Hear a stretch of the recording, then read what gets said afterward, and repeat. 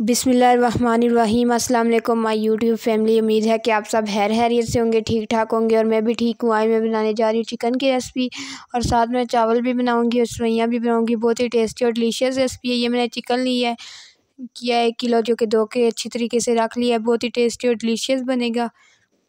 Chicken एक kilo लिया था जो कि अच्छी तरीके से धो लिया है और खुश कर लिया है और एक टोकरी में डाल के रख लिया। आज ये बनाऊँगी।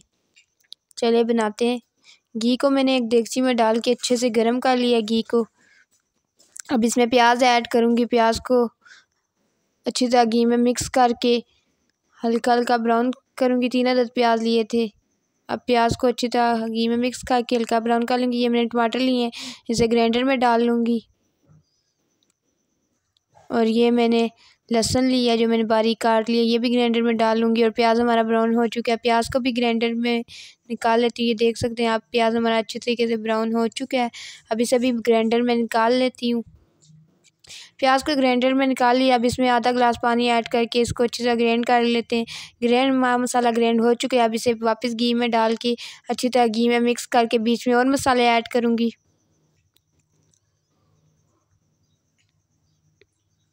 डेढ़ चम्मच लाल मिर्च, हाफ़ चम्मच हल्दी और एक चम्मच नमक।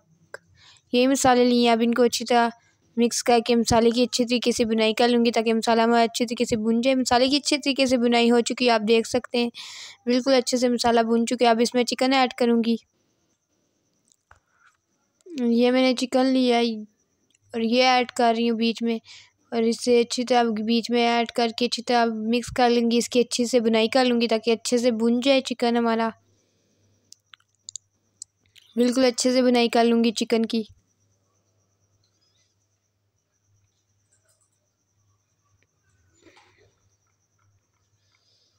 चिकन की अच्छी तरीके से बुनाई हो चुकी है, आप देख सकते हैं। अब पानी ऐड करूँगी एक से डेढ़ गिलास, ताकि हमारा चिकन जो है अच्छे से गल जाए, अच्छे से बन जाए। पर पाँच से दस मिनट के लिए ढक्कन दे देती हूँ, तकरीबन दस मिनट हो चुके हैं। आप ढक्कन उठा के चेक कर लेते हैं। ये देखिए कितनी अच्छी सी उबाली आ रही है। पानी भी कम हो चुके अब हमारा चिकन भी गल चुके हैं। अब आप, हम मिक्स करके आपको दिखा देते हैं। चिकन हमारा गल चुका है। कितने अच्छे से गल चुका है और पानी भी खुश्क हो चुका है गना हो चुका है।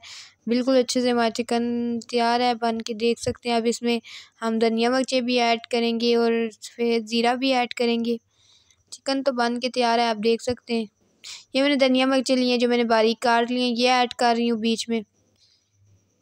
उसको बिखरा के ऐड करना है पूरी रेसिपी में, ताकि धनिया मिर्ची आ जाए, एक जगह ना पड़ी रहे। इसलिए बिखरा के ऐड करेंगे।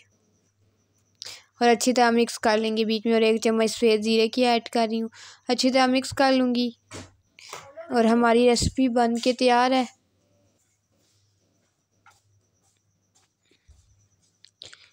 अब रेसिपी चिकन की बन के तैयार है। आप चावल बनाते हैं और ये घी को गर्म कर लिया। बीच में तकरीबन दो से तीन अदद प्याज ऐड कर रही हूँ। प्याज को हल्का हल्का ब्राउन कर लूँगी, यानी कि थोड़ा सा डार्क ब्राउन करूँगी। इतना डार्क नहीं, हल्का ब्राउन करना, प्याज हमारा ब्राउन हो चुका है। ये टमाटर और लहसुन ऐड किए हैं। इनको भी अच्छी तरह घी में मिक्स करके बीच में और मसाले ऐड करूँगी। ये मैंने बम्बई बिरयानी मसाला लिया स्पेशल और ये ऐड कर रही हूँ पूरा एक पैटक ऐड कर रही हूँ। और बीच में और मसाले भी ऐड करूँगी। एक चम्मच दड़ा मिर्च और एक से दो चम्मच नमक ऐड कर रही हूँ। और इनको अच्छी तरह मिक्स करके मसाले की अच्छी तरीके से बुनाई कर लूँगी ताकि मसाला हमारा अच्छे तरीके से भुन जाए। ये आप देख सकते हैं, मसाले की अच्छे से बुनाई हो चुकी है, अच्छे से मसाला बुन चुका है हमारा, अच्छे से बन के तैयार है। अब इसमें मैं तकरीबन छः गिलास पानी ऐड करूँगी। छः गिलास पानी इसलिए क्योंकि मैंने तीन गिलास चावल लिए हैं और चावल से दुगना पानी ऐड करना पड़ता है, इसलिए छः गिलास पानी ऐड कर रही हूँ। ये गरम मसाला बीच में ऐड किया, अब इस पानी को अच्छे से बाल आने दूँगी। या आप देख सकते हैं, अच्छे से बाल आ चुके हैं, अब इसमें चावल ऐड करूँगी। ये मैंने तीन गिलास चावल लिए थे, जो मैंने पहले से भिगो के रख लिए थे। आप देख सकते हैं, पहले से गीले हैं और भिगो के रख लिए थे ताकि चावल अच्छे से बने।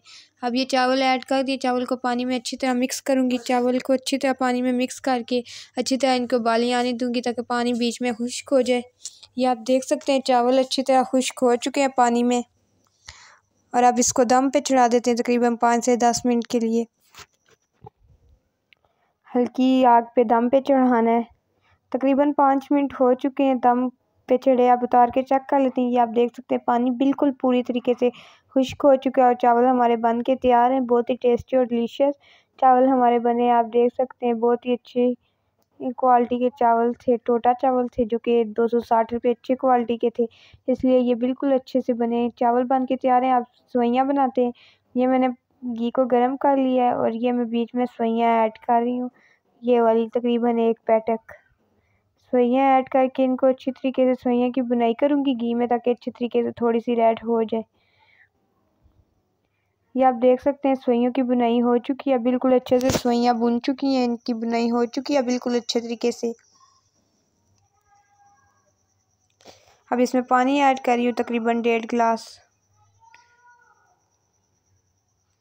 डेढ़ गिलास पानी ऐड करना है, ज़्यादा पानी ऐड नहीं करना। और ये चीनी का एक कप ऐड कर रही हूँ।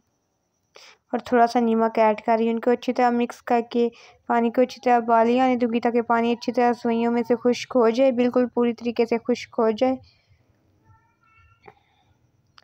इससे अगला पार्ट दिखाना भूल ही गई हूँ, इसलिए अब फाइनल पार्ट दिखा रही हूँ आप सबको। ये आप देख सकते हैं, सब कुछ बन के तैयार है। रायता भी बनाया है, सुइयाँ भी बन के तैयार हैं, चावल भी बन के तैयार हैं।